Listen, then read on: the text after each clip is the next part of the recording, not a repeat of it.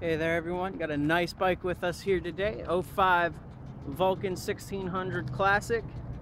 Gorgeous bike, about 5,800 miles on it.